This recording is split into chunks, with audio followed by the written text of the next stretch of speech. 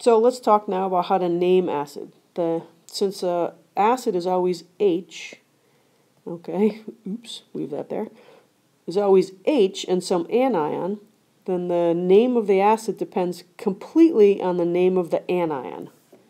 Anions can end in "ide," right, like nitride, or sulfide, or cyanide.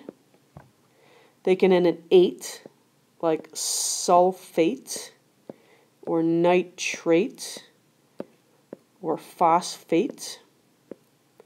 And they can end in "ite," like sulfite, or nitrite or phosphite. So they're all, this is how we decide how we're going to name our acids. So they can all, these are the three different ways that anions can end. If an anion ends in ate, the acid ends in ic. Okay? So for instance, if I look at H2SO4, the anion in there is SO4 2 minus, and that is called sulfate. That means the acid is called sulfuric acid. Okay. H3PO4, the anion in there is called phosphate.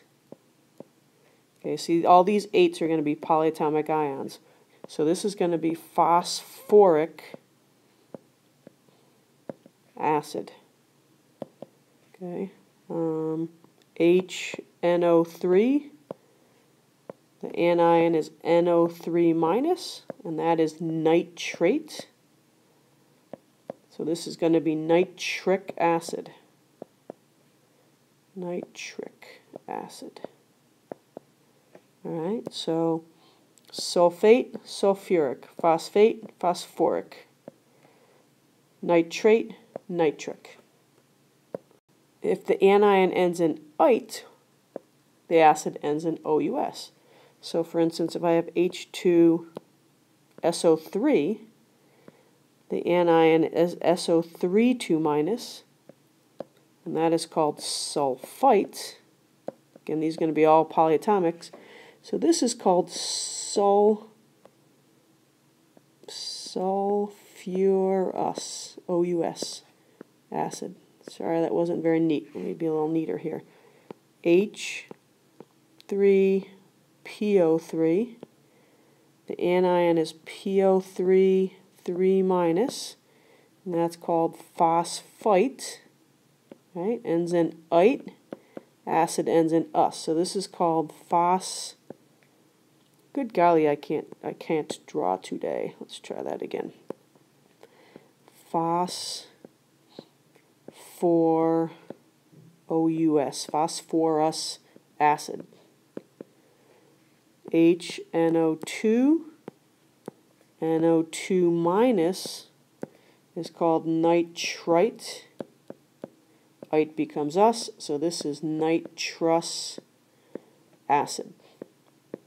Okay, so again, these are all polyatomic acids, uh, polyatomic ions. Ite becomes us. If it ends in ide, it's a hydro and an ic. So H2S, the anion is S2 minus, and that is called sulfide. Okay, these are mostly just elements that are become uh, monatomic ions. Sulfide, so this becomes hydro sulfuric acid. Okay. H3N, N3 minus is nitride. So this becomes hydro nitric acid. H, what's, how about HCl, right? Cl minus is chloride, right? So hydro chloric acid. How about if we need to go backwards now? Remember, ic comes from ate. So chromic acid came from the anion chromate. Okay, so what's chromate? Well, chromate is CrO4 2 minus. And since it's 2 minus, we need two H pluses with it.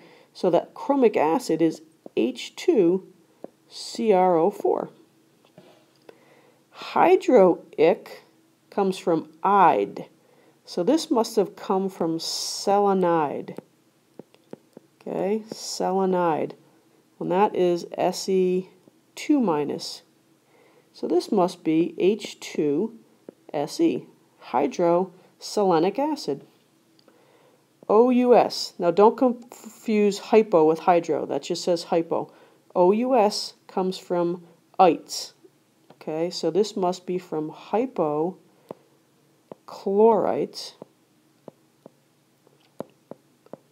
which is ClO minus, so just one H, so HClO. Okay, this is going to require some practice, but those are the general rules.